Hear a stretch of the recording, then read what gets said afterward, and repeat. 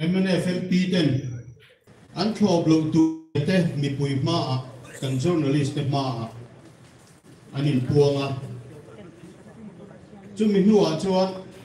chu mi ma chuan anin kia mang hi pakhat ma min la ti lo din sak lawa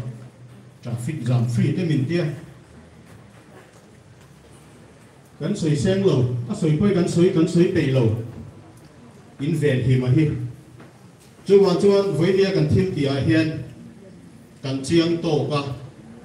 forest bill chung changa ichina kan soi to angin, puke vanal vena rajya sabha mp in pass ani don line a chuak zuka thu soi tum ve niom dein a zu chuak ve duk duka mizoram tana thingam in ti ve be usi social media ron fak vak vaka ma se, angam tak tak lo drama ani puke vena pu ke vanal vena hausa thi a zia ha chuan ha kan ho lo ani chuan chuan voi ni a hian kan au ro loka anga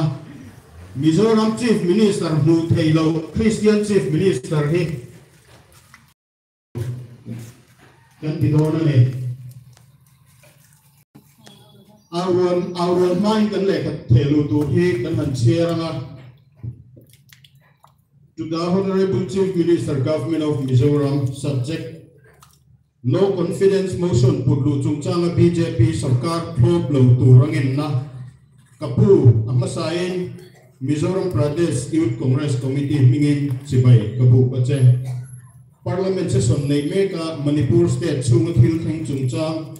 no confidence motion. Opposition opposition party tangrual India ten an pudlu mek hi Mizoram Sarkar hi an atho pang ti kan lau tak zeta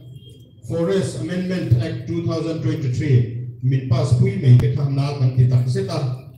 chu wang chuan tu na parliament session ni meka no confidence motion no trust motion pudlu mek hi Mizoram Sarkar hian. An tho tur zia mi pui